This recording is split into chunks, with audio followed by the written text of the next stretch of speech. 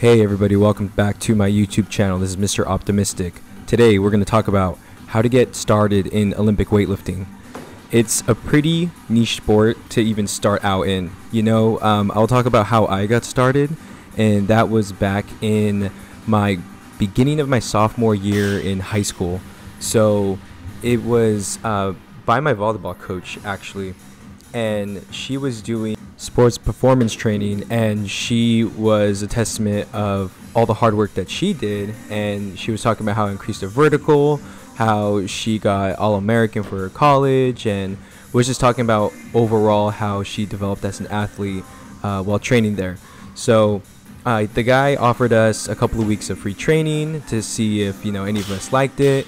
Um, I was the only one in my team who uh, you know, thankfully could afford it, and I started doing that about uh, three times a week. Uh, three times a week, in addition to all my other training. So, you know, just by chance, that's how I got exposed to it. Uh, a lot of people like you that are probably watching just typed in how to start Olympic weightlifting, and here we are. Hi, you know, and some people aren't uh, you know, privileged to get exposed at a young age. Um, but you know, I was, and I took advantage of all that training I could do. So, you know, either you're getting, uh, you just touching a barbell for the first time, or if you had an extensive background in athletics in general, uh, just start. Just start is my biggest thing to promote. just grab a barbell. Um, just don't put a lot of weight on just watch a lot of videos. There's a lot of good books out there. There's just a lot of information and you know the only thing you can do is just start. And that's pretty much the biggest thing because if you just mull about it it's never going to happen. You'll never start and you'll never even uh, you know enjoy the sport that you could potentially love at some point. and there's a lot of different benefits including increasing your vertical timing um, body awareness. There's just almost a infinite amount of different possibilities that you could, uh, you know, attain by getting very, very proficient in all the main lifts. But you know, that's kind of my first first little uh, tidbit right there. But number two is find a local coach in your area. As simple as going to. I'm gonna provide actual links uh, below, so I'll you know label them one through five, and you can actually search for local just straight Olympic weightlifting gyms in your area. It's uh, on the USAW website, and you know you would put uh, like what state you live in, your zip code, and then it'll just kind of list everything by closest proximity. Um, another one is by joining, as you see in the background, a CrossFit gym. A lot of CrossFit gyms now, uh, inco- well, they have to incorporate coaching of some sort in Olympic weightlifting. Uh, if that, I would definitely, you know, do a drop-in class, maybe get some more information on that, And if their coaches are actually specifically teaching the main movements. Um, if they have maybe a specific day that they would do it, uh, you know, like CrossFit Downey is the gym I mainly lift at. They do have uh, specific coaches dedicated to do Olympic weightlifting only, um, and you know, in conjunction with all the other classes as well. But we basically lift as a team Thursdays and Saturdays. And that's very very important because you get to see all all you know all the lifters that are very proficient or at least getting to um, that state of proficiency because it's it's fun doing it by yourself but it's even better with you know a team environment and people that you could uh, riff off different ideas or people to watch you and kind of like hey man that was that was a bad catch. It was pretty soft. And just to kind of reaffirm if you're doing well and you get some sort of bar to kind of measure yourself at.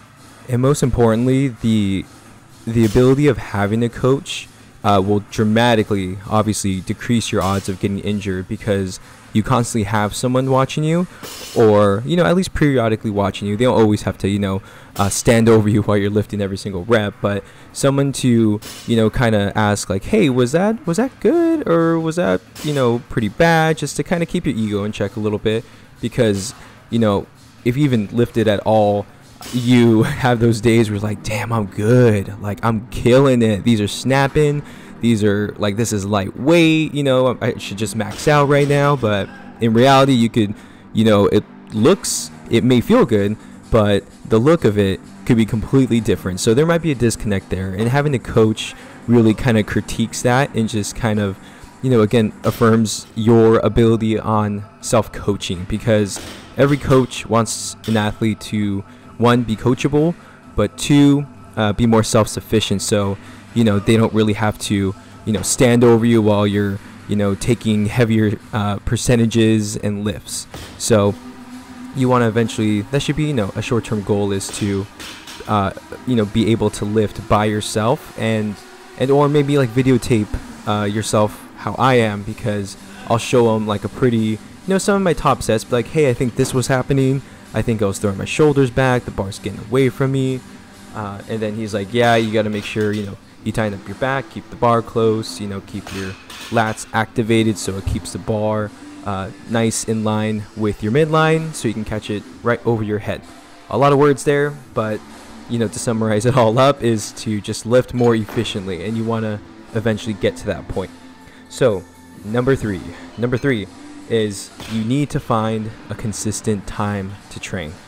So you hopefully know your schedule right now. If you're a student, if you're a full-time student and a part-time worker, or vice versa, you know what days and hours you have to allocate in your day to have you know time to train and that's very important because you know some of us have the luxury of a set schedule uh, which is which is so much easier and you don't have to really listen to this part of it but time management is so so so so important because if you uh, time your training uh, you know training times incorrectly uh, in, t- in terms of like, oh, maybe your coach is not there at uh, 1 to 5, and then you come in at 4.30 because you were running late or you, you got lazy or something like that, then you can possibly miss out on that block of coaching that you could have gotten. So, you know, there's some things that are in our control and there's other things that are not. So when it comes down to it, pick times where hopefully your coach is available or will at least be in the room so you can kind of pick his brain uh, when there's certain things that need to be asked, right? Like, hey, I'm missing a bunch of snatches at 75%. Like, I should be making these in my sleep. Like, do you see something that I'm missing?